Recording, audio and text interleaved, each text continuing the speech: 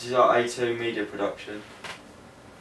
The strength of our year 12 production was the equipment used because it was a lot better than school equipment because it was a lot more expensive and it was like, it was a, like more HD. We uh, recorded early which means we had a lot more time to edit and if we had if we didn't have the right stuff we could go back and change it all. We had a lot of footage which means we had different uh, ideas we could use and change it about. We, we had the use of vehicles which no one else used and the mise en scene we used was also really good. How can we improve our video from year 12? Um, We before we didn't have a very good storyline, we sort of just, like on the day we sort of, we thought we could go there and just make up as we went along really.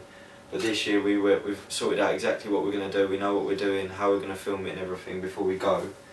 And the communication, we've had a lot of, before we started, we made sure that we all got together and all like knew what we wanted from it, so we all knew what we were going to do. The song choice, we wanted to make sure that everyone had an input and we all know what song we wanted to do. And we all knew like how we could edit it and how we'd make the, video match the film well.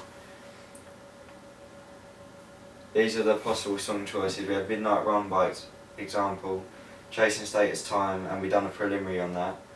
Um, Mac Miller, Frick Park Market, and Tinie Tempah Illusion. The genre of what we've chosen is hip hop, which is fast and slow beats in the same song, so we can use different styles of editing.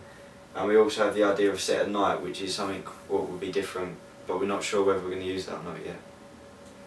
The camera shots, we, what we're going to try and use in the video are long shots, extreme close-ups with like, objects and a part of the body, which will be used well, what we've seen in other videos.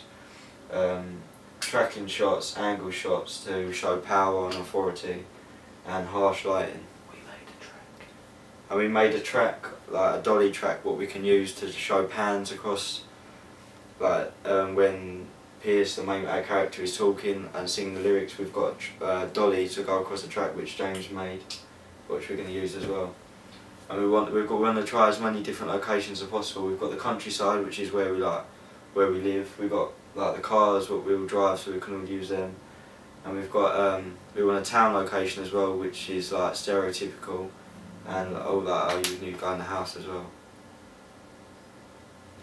Characters, the main characters would be a teenage boy, which is obviously like one of us, and then will also be with his friends and associates, which we can use by like shot, which is classic with the hip hop genre. And this is this is a music video which he analysed, which is Example change the way you kiss me. It's black and white to resemble the motion of the darkness and fear. Slow long shots editing at the start when there is a slower beat. Rapid editing is shown when the music becomes a faster pace.